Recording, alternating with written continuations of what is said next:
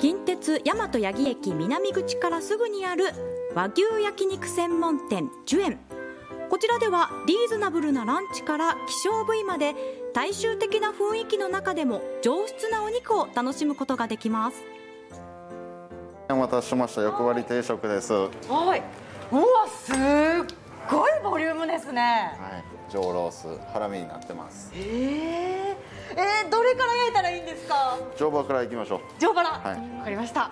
当店ではね三角バラっていうところを使用してまして甘みや赤みどちらも楽しめる部位になってますめっちゃいい音鳴りますめっね。ちゃ美味しいですお肉に はい。表面が油が油で汗かいてきたらひっくり返すあの時なんですけどはい。ももうそろそろう、ですもうそろそろ。はいいいですか？はい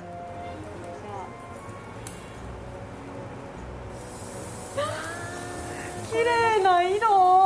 もう見るからにとろけますね。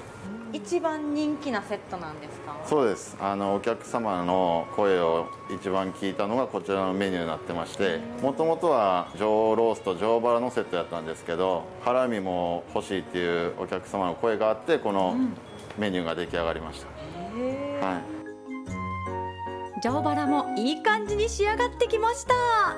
それでは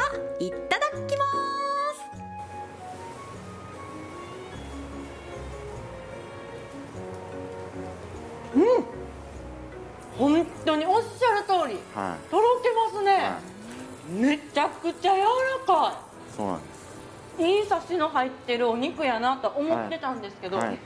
見た目以上に超えてきました。めっちゃ美味しい。よかったです。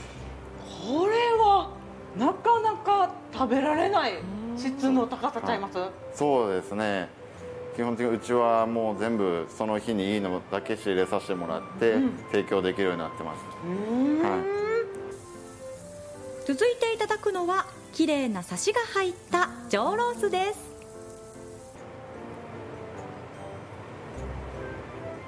うん。噛めば噛むほどロースの方がうまみがそうですね。溢れてきますはい。ね、本当に甘いですね。そうなんです。お肉が、はい。サシの部分の脂身がしつこくないそうですね。ベロッと食べられちゃいそうですね。そうです。でまたこのタレが美味しい。ありがとうございます。これは自家製ですか？そうです。はい。何入ってるんですか？ちょっと聞いて聞きください分けですね、こんな横断の最後はお客さんからの要望が多かった人気のハラミ。こんだけボリュームあったらもう皆さんお腹いっぱいになりますねそうですね。ね。あの当店ではランチでは、えーご飯のおかわりとコーヒーや自由になってるんですよ、えー、食べ盛りのそうですね。中学生高校生男子とか。そうですね。もうもりもりはい食べてますね、そうです。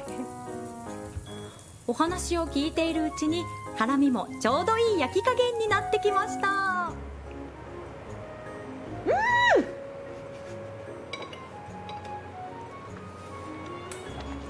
美味しよかったです。いもうねハラミが美味しいお店はもう絶対間違いないと思ってるんです私。もう。もう最初から確信してましたけどもうこれはもう美味しい。よかったです。うわこんな美味しい焼肉をランチで食べれたらもう一日ハッピー幸せですね。そう言ってもらえたら嬉しいですね美味しいお肉を堪能させてもらったところでジュエンのオーナーである松本さんにお話を伺いました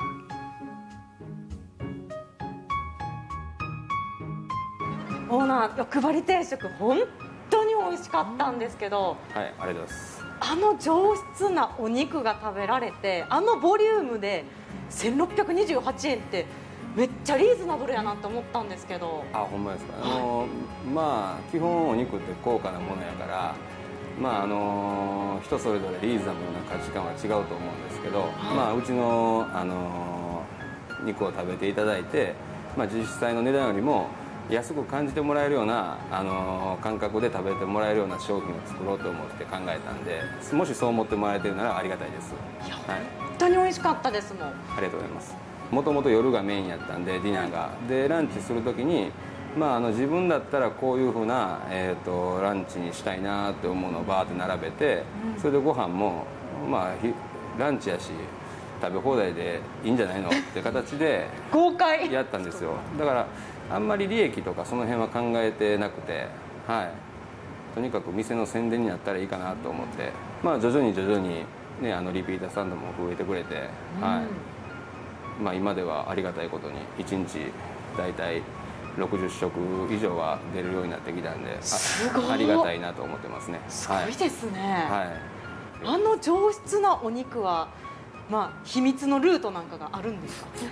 いやあのもともとここの寿園の先代の親方がやってる精肉店からあのそのまま引き継ぎ仕入れさせてもらってるんではいなのでリーズナブルにはい。仕入れることもできるし提供もできる。そうですね。はい。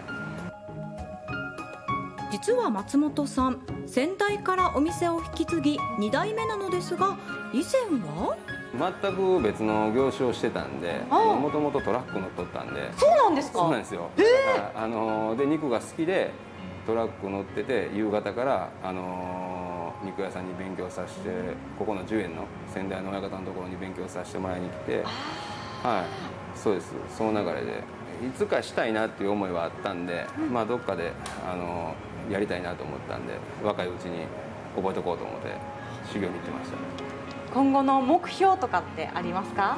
そうですね、まああの今自分自身が、あの中学校野球の公式のクラブチームの監督をさせてもらってて、えーとまあ、商売やってる以上、まあ、あのそういう未来の子どもたちに、あのいろいろ時間を費やしたりとか、ね、あの環境を費やせれるようにそれにそういうことをできるような規模の店をどんどんどんどん広げていきたいなと思うんで、だから、あの10店舗出すとか20店舗出すとかそういっため目標はないんですけれども、やっぱ、あのいろんな子たちに子どもたちにそうやってできるだけのにはどれぐらいの店舗が必要か3店舗なのか4店舗なのか5店舗なのかわからないんですけどそれに見合ったあの展開を今後していこうと思うんで、はい、そう思ってやってます。